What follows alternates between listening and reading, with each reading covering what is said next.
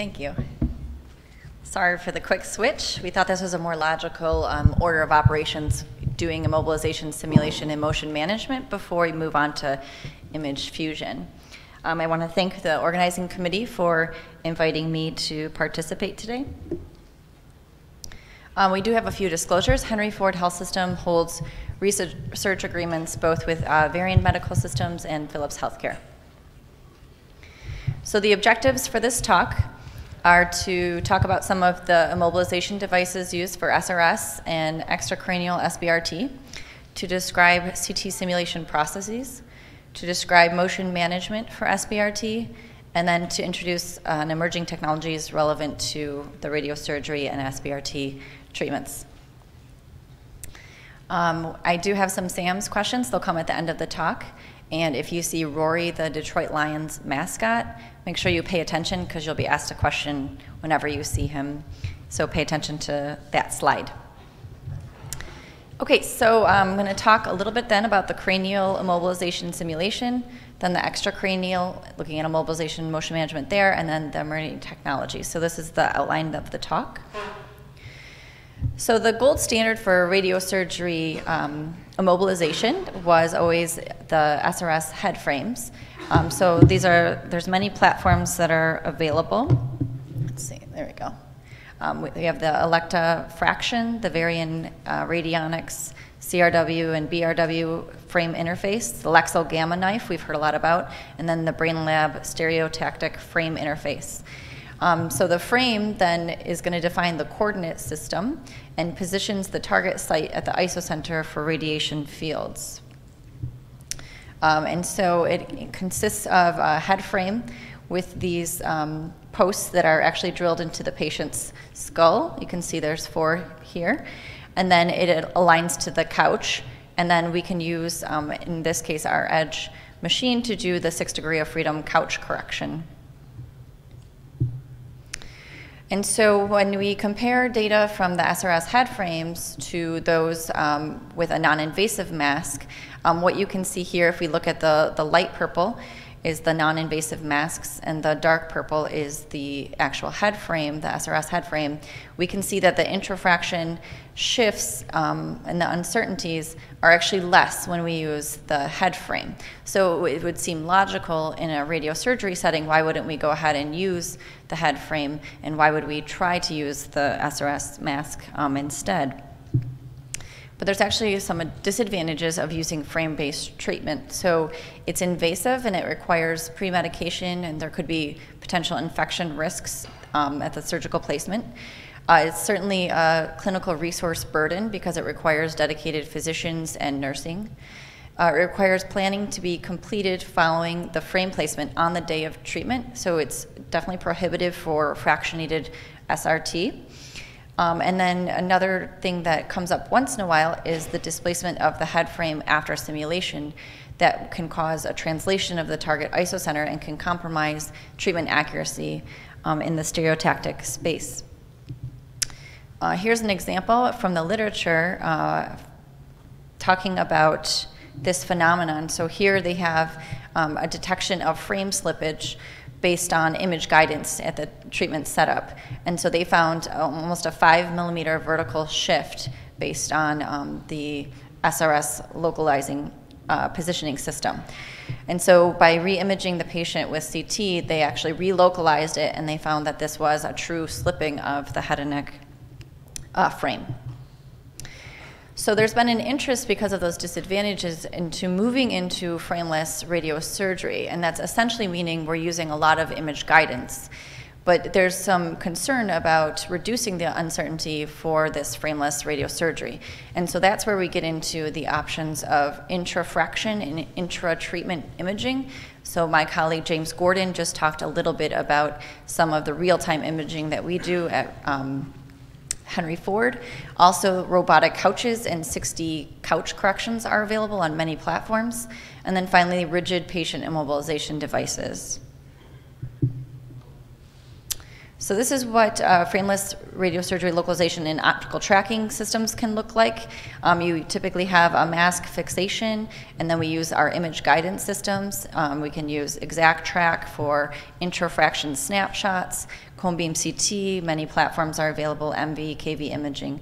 Um, and then we also use a positioning array and infrared camera system to initial set up the patient. So you can see these infrared reflective markers are shown here and also on the patient uh, system here to uh, accurately control the couch position through this camera system for the infrared camera tracking and then also the reflective markers on the patient's surface.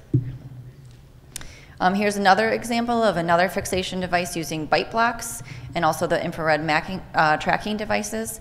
Um, so in this case, the dental tray is put in at time of simulation, often a VSIM or something after to verify the setup, and then that's used for patient immobilization. Uh, this is an example of a system that we use at Henry Ford. It's called the Encompass um, mask system. So it has hole that allows us to use our OSMS tracking for intrafraction motion monitoring. Um, it also has some integrated shims to allow us to um, manage any kind of changes in the flexion of the overall mask and fit uh, at time of treatment. Also has some reinforcing um, sections to give some additional stability and support. And so it's important to keep in mind um, as you're working in your program is to think about um, how the setup errors are for your particular immobilization choice. So there's a variety of literature out there. This is just a couple examples.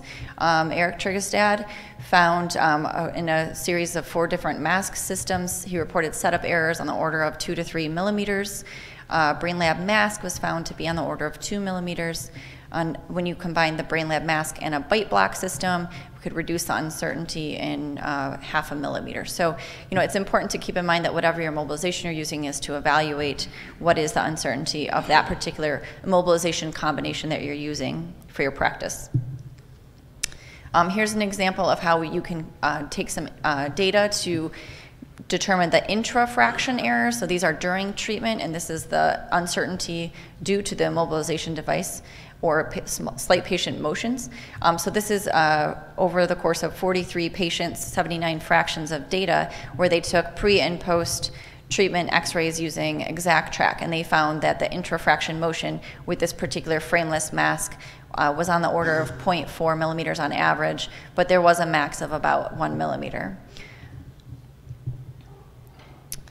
So if we think back to our um, task group 42 describing some of our initial uncertainties in radiosurgery, keep in mind this is published back in 1995. Um, we see that the achievable uncertainties in radiosurgery um, are largely dominated in this particular table by the CT image resolution. So we can see that the CT slice, slice thickness for the column on the left was one millimeter and the column on the right was three millimeter. And so with all other things being equal, you can see it can actually make a large influence on your achievable uncertainties in radiosurgery planning.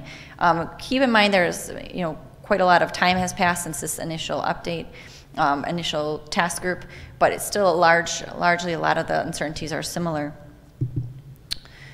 Uh, so here's Roary, our lion, whoever's awake. Um, so uh, let's look into our CT simulation considerations. So we know from task group 66 on the CT simulation process that the thinner the CT slice thickness, the higher resolution that we can delineate our structures, and the higher quality DRRs that we can generate, and the better spatial resolution of those DRRs. Um, of course, one of the drawbacks is you increase the contouring burden, um, which can sometimes make your physicians not happy, but remind them that it's for better certainty. Um, so in our practices at Henry Ford for our SRS brain protocol on our CT scanners, we have a 1 to 1.5 millimeter slice thickness, depending on which satellite you're at. And then our SRS spine protocol is 2 millimeters slice thickness. And that's contrasted by our standard external beam, which is 3 millimeter slice thickness. Okay, so I'm going to move on and talk a little bit now about our mobilization and motion management for spine, lung, and abdomen.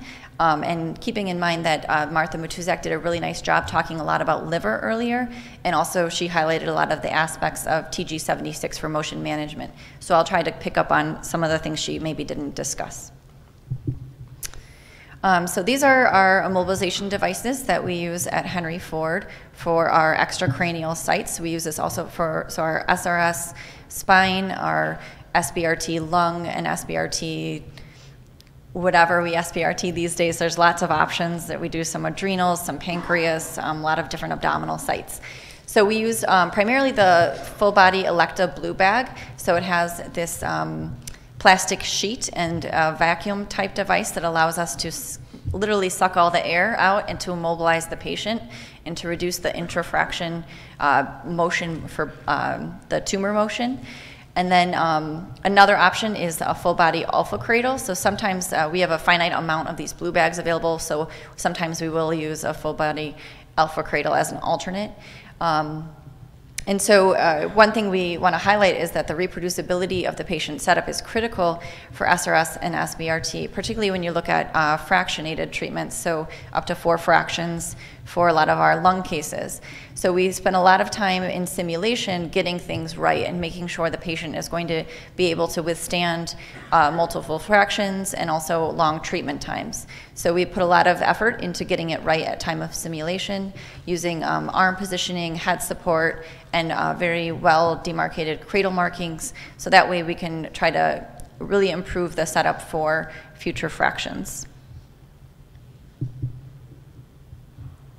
Um, another uh, option for immobilizing is uh, this body ProLock system. Um, and it actually has um, compression paddles that you can use for minimizing abdominal motion. So a lot of our current trials in lung SBRT in particular require some sort of uh, uh, motion management. So a compression paddle or the BodyFIX system with a plastic sheet can also work for those um, trials. So here's an example of the differences between that BodyFIX site and the, the location and then the abdominal compression plate. Um, and what you can see is overall the reduction in tumor motion that you're seeing between the two systems is um, particularly close. Uh, you see some small differences with the abdominal compression plate in um, the sup inf direction, but none of these differences were statistically significant. Um, and one thing to keep in mind when you're using a compression plate is that um, all these devices are indexed, and so there's a set value that you're going to set at time of simulation, and you're going to repeat that at time of treatment as well. Um, I know some clinics will also uh, put markings on where that plate was, so that way for future fractions, you're setting it up reproducibly. Um, so this is some work out of um, from Seppenwoolde. It's kind of a, a, really popular paper. It was outlined in uh, Task Group 76 on motion management. Um, and this kind of really highlights why uh, motion is a particularly patient-specific problem, um, but it's also location-specific. So this is um, data taken from orthogonal trajectories for 21 different tumors. And so um, you can see when they circle the tumor location. So for instance, this 17 or this 9, that means that those tumors were attached to bony structures. Um, but what this case, this, this picture highlights is that there's really a lot of variability and it's very patient dependent. So you can see if this is your scale on one, the order of one centimeters, you can see that a lot of those patients will have tumors that are moving larger than one centimeters. Keep in mind when you see a trajectory that looks um, like it's two-dimensional, not just one-dimensional, means that there's some hysteresis with breathing as well. So it just highlights that patients, uh, it's a very patient-specific solution are needed, so that way we can address this on a patient-specific basis.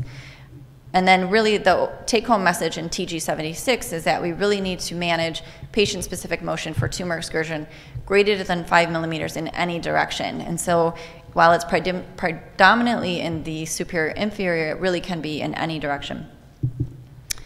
Um, and so here you see our friend Roary again shows up. Um, but we can see that for liver, for instance, these are on a Cine MRI series of about 30 different patients. Um, we can see that for this, uh, in this particular patient during free breathing using Cine MRI, that in all dimensions, the cranial caudal, the anterior posterior, and the medial lateral, all of these dimensions um, were exceeded the five millimeter motion management requirement set forth through TG76. So that means that in all dimensions here, we need to consider how we're going to manage that motion for these cases. So some of the consequences of motion, I think, is best shown in this picture. So we get uh, quite a lot of blurring of the tumor, quite a lot of, uh, could be blurring in your dose distribution. It could actually lead to marginal misses um, if something's moving too fast and you didn't catch it. Um, and so we can revisit some of the recommendations set forth in ICRU 62 um, where here we're talking about the ITV or what's now called the IGTV in a lot of our NRG studies, and that's the internal target volume. Um, that's shown here in this white in this picture. So that's equivalent to the CTV plus an internal margin to account for target motion. Um, but in addition, we have to consider our planning target volume to include a setup margin to account for patient positioning uncertainties over treatment. And those are going to depend on largely on your mobilization devices um, and also your IGRT uh, criteria. So how do we get our internal target volume? So we saw earlier, uh, Dr. Matuszak gave a lot of discussion on the use of 4DCT. We can use the maximum intensity projection and the phase images. You can use end inhale or end exhale CT scanning. Um, that's in the absence of 4D CT, but keep in mind that it does exaggerate, it tends to exaggerate your breathing both at inhale and exhale. Um, before we had 4D CTs, so back in the uh, early 2000s, people were actually using a lot of fluoroscopy, using in a conventional simulator or on a fluoro unit, and you can see the, the lung uh, lesion motion, and that's how they would estimate what the motion was. Um, Cine MRI, I just showed you that example from uh, for liver. It's very helpful in abdominal sites. So we use 4DCT um, primarily to reduce artifacts due to respiratory motion and to measure and evaluate tumor motion and position during free breathing conditions. And then we can use that data to develop patient-specific tumor margins or the ITV. And so here's an example of a free breathing CT on the left and the corresponding 4D CT for the same patient on the right. And so you can see that the tumor is moving uh, superior and inferior as you might expect. Um, this is kind of an early stage smaller lesion. But the one thing to keep in mind is that, and this is something we heard earlier from Martha, but she mentioned that if we end up planning on the free breathing CT, what is the potential consequences of that? Um, so you can see when you have tumor moving, and if we had planned over here on the free breathing CT, we actually are at a snapshot of time in that patient's breathing cycle, and that tumor is at only one location when really it's moving on the order of a centimeter in this case. And so really the, the biggest complication we can cause when we're giving SBRT lung treatment is truly a geometric miss.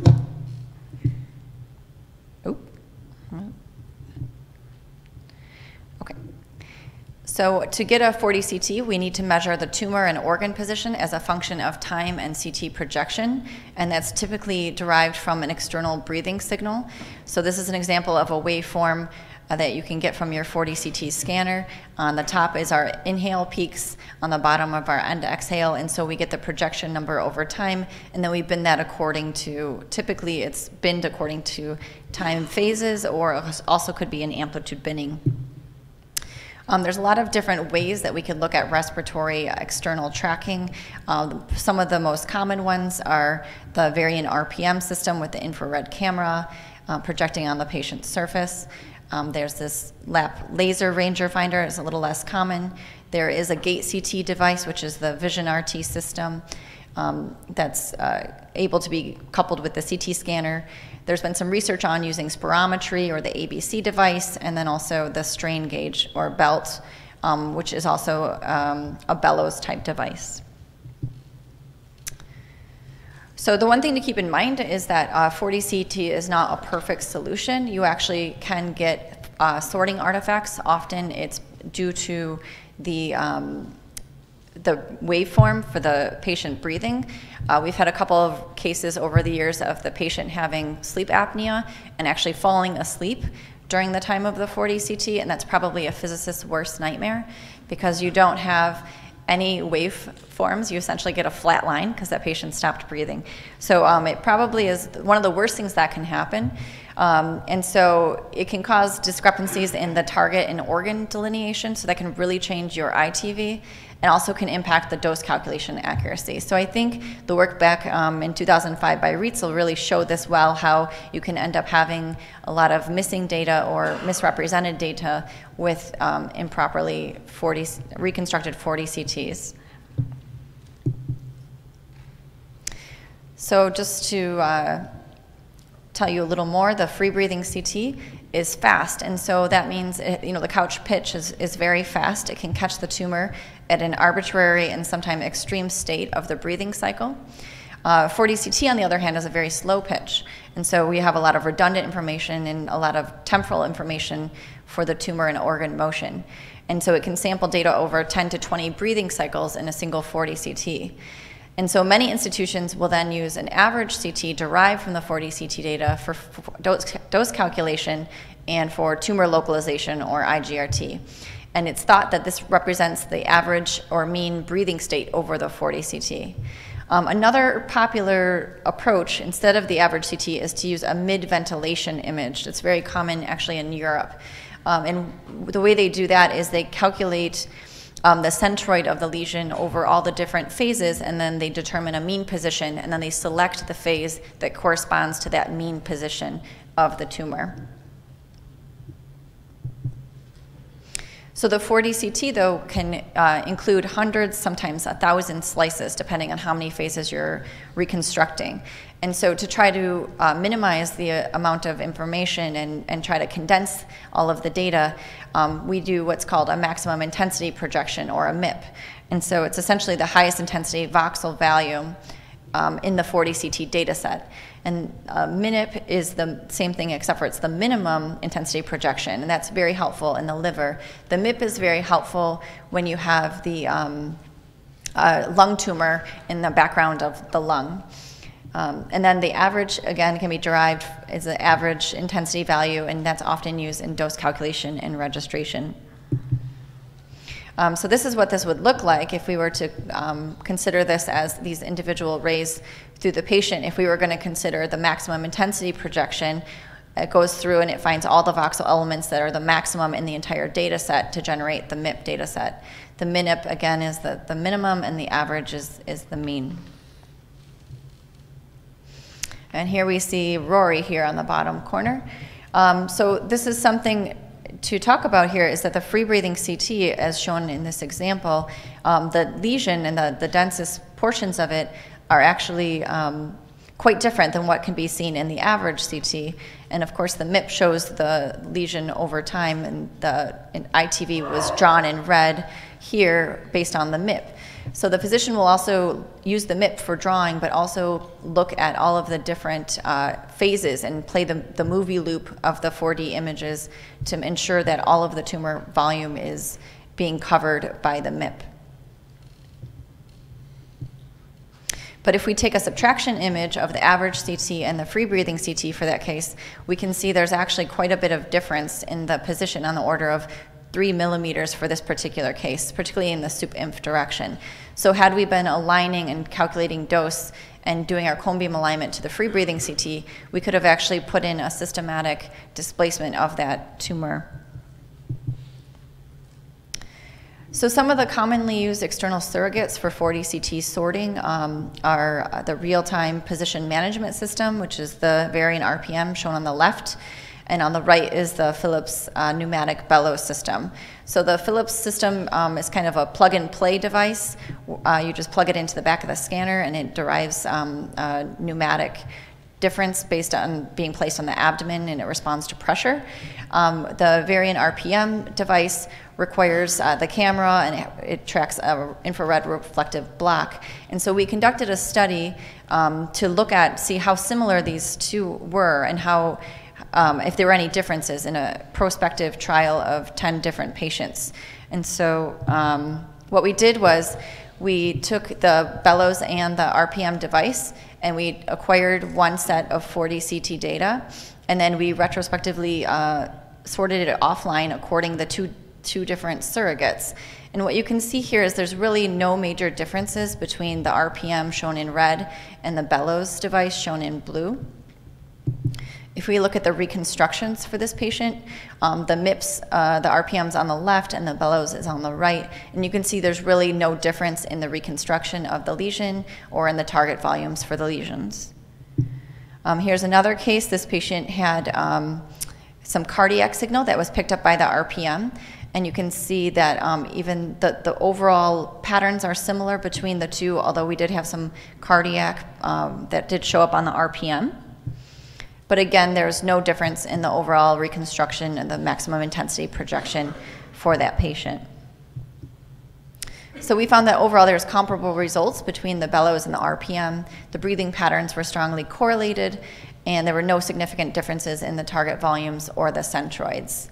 Um, so overall, there's, there's really no big differences except for the uh, Varian RPM can be used also for uh, treatment if you were going to do some gated deliveries. So there's some advantages there. Um, the one advantage of the bellows system is it's it's very plug and play. doesn't require an extra computer or anything um, extra except for just putting it into the back of the scanner and and putting it on the patient. Um, so another question that comes up quite a bit is um, how many 4D CTs do we need? Um, the good news is someone's already looked at that. So this is um, some work that came out of Thomas Jefferson where they evaluated a number of different patients and looked at the ratio of the target volumes using um, the ITV generated from 10 different 4D CT phases as the gold standard. Um, and so a couple of things um, that come out of this study. One is that as the tumor motion increases, you see some increased variability in the um, ratio of the ITV. So a perfect ITV uh, value with respect to ITV10 is 100%. So these would be well matched. Um, but when you look at the two-phase acquisitions or the two-phase ITVs, we have a gross underestimation um, on the order of 12% on average of the target volume. Um, and so the recommendation from this work was that you need four, preferably six or more phases. Four phases um, got you about 95% of the target volume. So more than four phases was um, considered adequate for treatment planning and determining the ITV. Um, so our practice for 4D simulation for lung SBRT in particular is to use the Elekta Blue Bag system. Uh, first, we take a free breathing CT, and then we do a 4D CT simulation using four phases. The reason we do the free breathing CT is because the physician will come in and mark that scan, and they will not wait for the have to wait for the 4D CT simulation uh, to reconstruct. The 4D CT data reconstruction can take some time. Um, if it's a medial lesion, we'll use IV contrast during the 4D portion of the scan. Again, the physician will mark the isocenter and they're present at time of simulation on the free breathing CT. We will calculate um, dose on the average CT, and then we'll also include a, a PET scan, especially in the medial lesions for delineation. Okay. And then I'm going to talk now uh, for a minute about um, emerging technologies for simulation. Um, so this is a, a, case study. It's a parotid metastases to the brain. And our radiosurgery physician, Dr. Siddiqui, uh, contacted me and said, oh, I, would really like to have an MR simulation on this patient. Um, and so what you can see here is this was the diagnostic MRI scan. Um, this looks like a reformat in the coronal plane. Um, this is a diagnostic MR, and he attempted to draw his uh, target volume in this particular case. In the CT sim, not surprisingly, we can't see that lesion at all. And so he asked me if we can do an MR simulation on it so that we can better figure out where the tumor is. Um, again, this is a six millimeter metastatic lesion. And so um, when we did the MR sim, having the information from the physician on what the intent is, uh, we were able to more accurately localize the lesion location.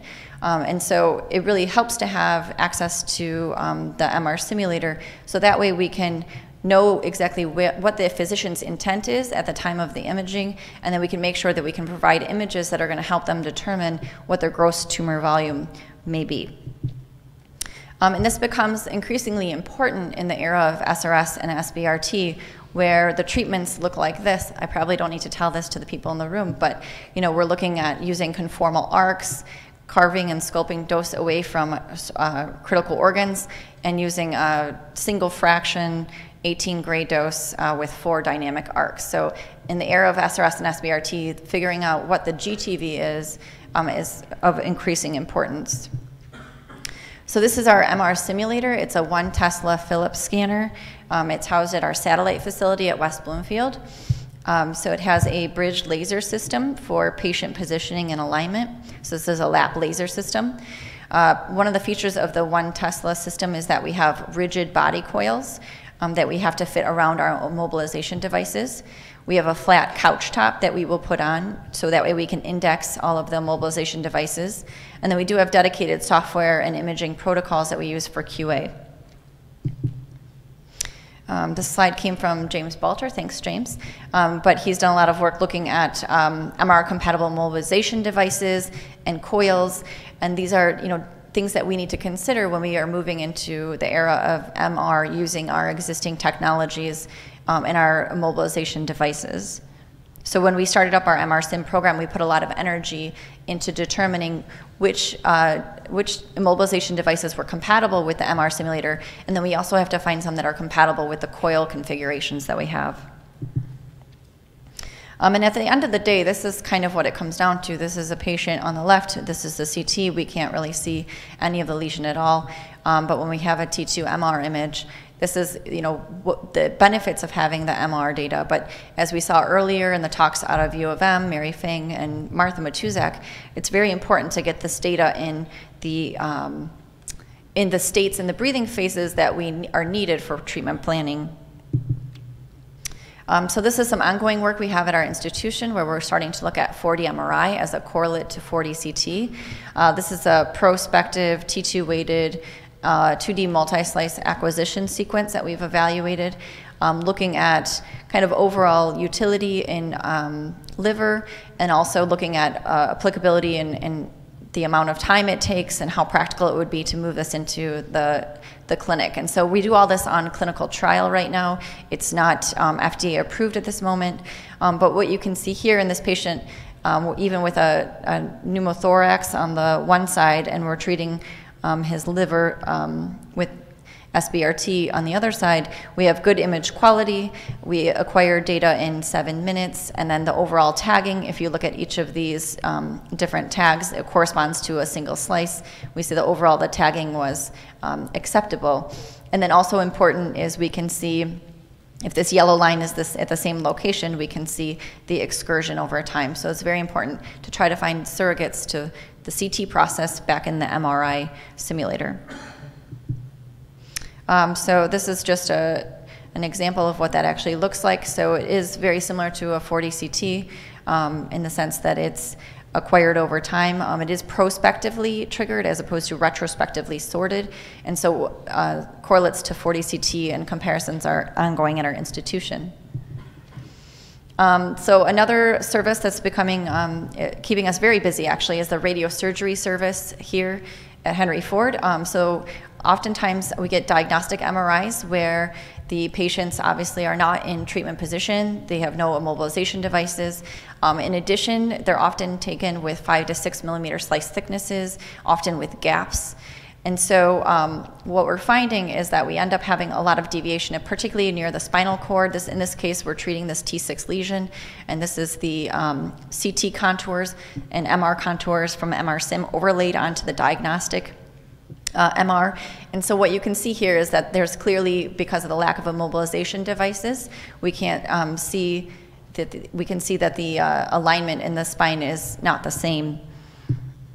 Um, but when we have our MR sim and we have all of the blue bag for immobilization, we also are paying special attention to the slice thickness and no gaps. We get a much better image registration.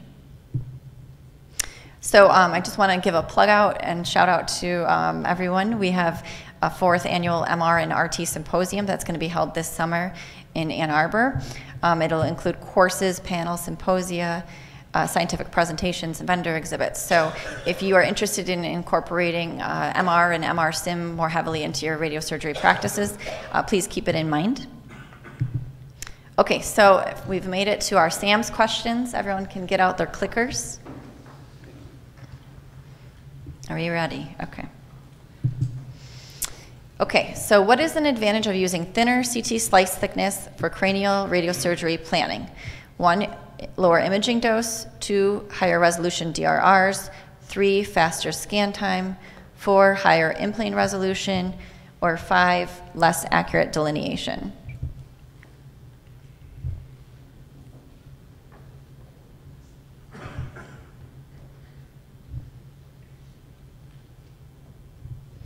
Okay, and everyone, most of us got it right, the higher resolution DRRs. And as we saw from TG66, DRR quality depends on CT slice thickness. Smaller slice thickness gives us more accurate treatment volumes and critical structures, um, in particular when you're looking out of plane versus in plane. Okay, the next SAM's question. Which 4D CT image set is most appropriate to use for cone beam CT based IGRT and dose calculation? One is end exhale, two is maximum intensity projection, three is the average CT, four is end inhale, and five is free breathing CT.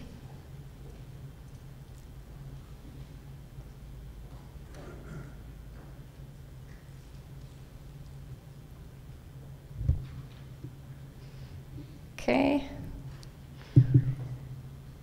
And the answer is the average CT. So it best represents the mean patient density and it can impact the dose calculation and the image guidance. And remember, we had that systematic offset if we had used the free breathing CT compared to the average. So this is an important take home message. Okay, and which technique is most appropriate for assessment of liver cancer motion? One is 4D CT, two is axial cine MR, Three is coronal plane cine MR. Four is 4D MR. And five is fluoroscopy.